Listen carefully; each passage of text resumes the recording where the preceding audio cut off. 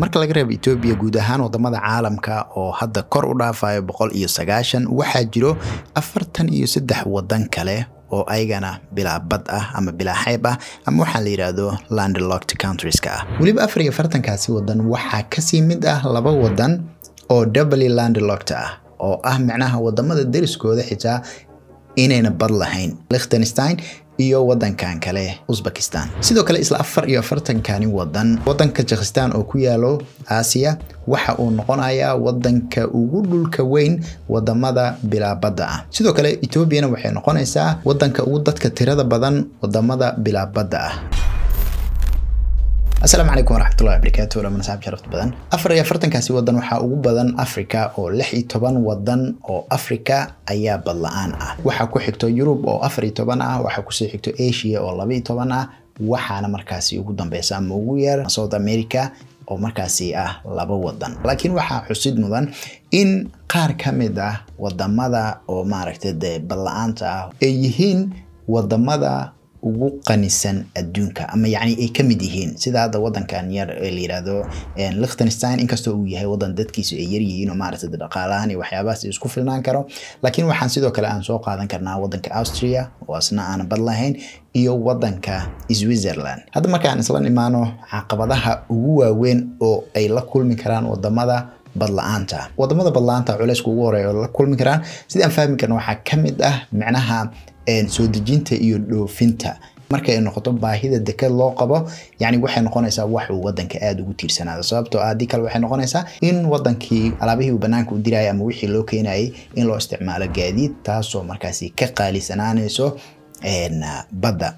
Ama haddii kale wuxuu noqonayaa mid ku tiirsanaado wadanka dariskiisa ah oo badda leh ama xeebta leh. Si oo markaa si loogu soo sii dhexmariyo ayadana inkastoo weli ay qaali sii ahaanayso welibana caqabadaha waxay sii badan karaana la yidhaahdaa marka wadanka deriskaaga oo aad baddiisa ku tiirsan tahay si wax lagaaga soo dhoofiyo ama aad wax ku dhoofiso uu yahay wadan musuq maasuq leh. Way kugu adkaanaysaa markaasi in hawshaasi markaa aad kula jirto. Mar walba adiga allugaad ku taagan tahay oo waxa wadankaasi maalinta uu xiriirkiina diblomaasiyad uu xumaado waxay noqonaysaa markaa in waxyaabihii kale dhan la joojiyo ama la jaro. Sidoo kale waddamada aan badaha lahayn waxaa la yidhahdaa waxa maaragtay dee culays uu soo fuulaa dhisada kaabayaashooda dhaqaale maadaama yacni shirkado kale ama dad kale oo wadanka inta yimaado maalgashto ay ku adkaan karto haddii wadanka uuna bad lahayn. Sababtoo de waxay ku xisaabtamayaan wadankaasi ay shirkadaha ka sameynayaan ama ay wax ka dhisayaan ama yacni maalgashiga ay ku sameynayaan alaabaha ay geyn lahaayeen iyo waxyaabaha ay ka soo qaadi lahaayeen meesha ay marin lahaayeen.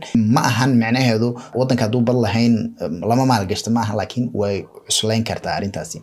Midda kale ayadan waxay noqonaysaa inkastoo badda laftirkeedaba maaragtay dad ay ku soo kici karto musiibo ay ka dhici karto ama musiibo ay sababi karto haddana marka wadanka gudihiisa musiibo ay dhacdo ama ay noqoto xitaa in diyaaradihii gaadiidka waxyaabahaasi ay shaqeyn waayaan badda waa meesha loo isticmaali karo macnaha in lagu haajiro ama lagu safro meel kale lagu aado. Wadankii aana bad lahayn waxay noqonaysaa de haddii wadamadii xuduudihii laga soo xirto in meeshaas markaasi una dhaafi karin haddii kalena ay dhib noqonayso. Marka guud ahaan marka la isku soo dardaro wadanka way adkaanaysaa hadduuna bad lahayn in dhaqaale ahaan uu koro yacni inkastoo anagana bad aan leenahay iyo wadamo kaleba dhaqaal ahaan aan korin yani waxay kutusaysaa de waxani in meesha iska taalo muhiimku ma noqonaysa de isticmaalkeedii iyo de wax soo saarkii wixii laga rabay yani habkii ugu saxsanaayo loo isticmaali lahaa ayaana ka maqan. Walow soomaali anagoo ah oo sidaani ah haddana welibana badla-aan sii ah yacni kolley waan ka sii xumaan lahayn un so maalmo ka hor koodii bisha january ee hadda bilaabatay waxaa dhacday in dee iyo somaliland ay soo wada daayaan hal mar yacni warkan geeska africa qabsaday oo ahaa. Marka in heshiis ay ku gaareen in etoobiya ay hesho labaatan kilomitr oo maaragtay dee dhulbadeed ayadoo markaasi looga weydaarsanayo aqoonsi markaasi etoobiya wadan ahaan ay u aqoonsan tahay somaliland dal madax banaan. Heshiiskaasi baddana waxa waqtigiisa uu gaarayaa la yidhi konton sano. Micnaha hadday shan sano ahaan lahayd toban sano ahaan lahayd meelahaasi sababtoo hadda toban sano haddii gadaal loo laabto tobankii ma ahan waqti saas u sii fog laakiin konton sano meesha waxaa soo galayo madmadow oo wixii aana la kala saari karin wax sidee ahaayeen wax qaabkay ahaayeen heshiisna wuxuu ahaa. Yacni waxyaaba badan waa laga dhimi karaa waxyaaba badanna waa lagu dari karaa. Taas markaan ka gudubno marka horta waddamada aan badda lahayn xaq may u leeyihiin in wadan kale ay la galaan heshiis oo ay maaragtay de bad ka kireystaan ama ay ka gataan sharci ahaan waxaa la yidhahdaa wadanka jordan wuxuu leeyahay hadda xeeb labaatan iyo lix kilomitr ah. Weliba markaasi deked ay ku leeyihiin. Waxaan la yidhahdaa hadduuna ahaan lahayn heshiiskii kun sagaal boqol lixdan iyo shantii ay la galeen wadanka sacuudi carabiya oo markaasi jordanna ay ku qaadatay dhulxeebeedkaasi sacuudina ay ku qaadatay iyadana dhul kale oo sidaas ay isku weydaarsadeen. Macnaha jordan xilligan waxay ahaan lahayd deked la'aan ama bad la'aan ama xeeb la'aan. Keliya waxana ay haysan lahayd badda dhimatay laakiin heshiiskaas dartiis ayaa ka dhigay. Marka heshiis noocaasi wuu jiri karaa laakiin de waxa aad wax ku bedelanayso horta wixii wax wixii u dhigmo ama siman ma yihiin ma xumo in haddii la yidhaahdo dhaqaale ahaan wixii ay ku dhisaysaa heshiis gal oo adigan waxbay kugu soo kordhinaysaa dad kalena waxay ku soo kordhinaysaa laakiin taariikhda etoobiya kala dhexeysa soomaali ahaan ma ahan miday aamini karaan. Hadda xitaa haddii ay noqoto heshiiskaas okay inuu yahay oo la socodsiiyaba haddii ay noqoto ma la garanayo ilaaha og waxa uu noqon doono. Shar muu noqon doonaa? Kheyr muu noqon doonaa cid og ma jirto. Laakiin dadka waxa ay ka hadlayaan saadaal iyo siday wax u arkaan siday wax u aqriyaan siday wax u fahmi karaan iyo waxyaabaha dhici kara oo ay sii sawiran karaan unbay ka hadlayaan. Haddii heshiiskaas la og yahay inuu fiican yahay oo labada dhinac buu u fiican yahay qof diidi lahay ma jiro. Abiy axmed weliba xiliyadii ugu dambeeyey waxa uu maaragtay dee xooga soo saaray helitaanka bad inay etoobiya hesho. Weliba dhowr bilood ka hor waxaan xusuustaa isagoo la hadlayo baarlamaankiisa oo weliba sida galaas jaamacadeed oo kale ugu sharaxayo muhiimadda ay leeyihiin biyaha. Oo markii dambena hadalkiisa ku soo gabagabeeyey maadaama etoobiya ay tahay in ka badan milyan waa inaan helnaa bad isagoo welibana hadalkiisa qurxinayo ku soo koobayo in waddamada geeska africa sida etoobiya jabuuti soomaaliya eritrea oo kale inay isku darsamaan ay noqon karaan micnaha wax loogu yeeri karo raashiyaha cusub ama chinaha kale oo yacni wax awood leh markaasi ay noqon karaan. Taasna waxay ka dhigtay marka etoobiya guud ahaan in ma markaasi ay ku qaataan oo ka dhaadhaco fikirkiisaasi oo ah badda. Yacni kolley ajendihiisa siyaasadeed ayayna qayb ka tahay. Waxa sidoo kale asna muhiim ah soomaalida sida ay ugu kala qaybsamaan wax weliba. Tusaale waxaa jira hadda ka hor aan sameeyey oo ma aragtay dee anigoo u soo qaadanaya marka soomaali iyo siday tahay? Soomaali waa wadan muslin ah. Inta aan joogana aniga kuma arkin. Hadda ka hor waan maqlay taariikh ahaan waan ku aqriyay in kaniisad ay ku taalay meel ka mid ah. Laakiin soomaali kaniisad hadda socto ama shaqeyso kuma taalo. Okay sawirkan waxaan u sameeyey markaa haddii soomaaliya labada tusaale ahaan oo kale meel kaniisad laga dhiso welibana ay shaqeynayso marka ugu horeysa horta waxay noqonaysaa aan idhi in dadkao dhan ay ka hadlaan waa wejiga koowaad in dadka dhan ay ka hadlaan oo meeshii maaragtay dee kaniisadii la tuuriyeeyo lagu mudaaharaado la qeylsho yacni dad badan ay wax ka soo qoraan dad badan ay muuqaalo ka soo duubaan. Kadib wejiga labaadna wuxuu noqonayaa in kaniisadii qabiilka meesha ka dhisay kaniisadii la soo ogaado ama la sheego. Marka qabiilkaasi la sheega kadibna ay noqoto markaasi in yacni qabiilkii kaniisadda la sheegay inay dhiseen dadkoodii dibadaha kala joogay iyo kuwii joogaba ay noqoto markaa inay difaacaan oo la yiraahdo kaniisad meel walbay ku taala masaajidna ku yaalla sidan waay kan waay yacni arrintii markaasi in lasugu buuqaadana wejigaasi qabiil ahaan ay isaga soo horjeesato.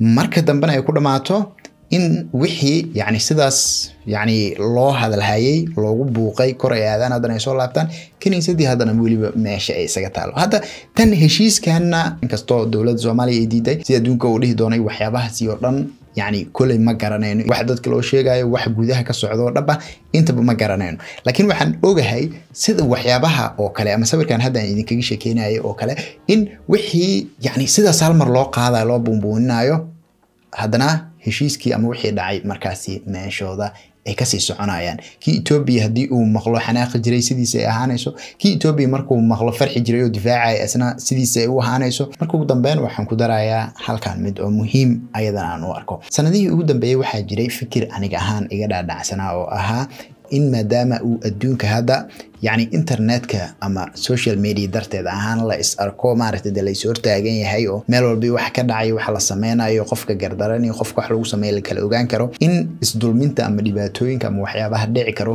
sidii waagii hore idaacadaha iyo meelahaasi wax wararka laga sugi jiray joornaalada aysan ahaanin.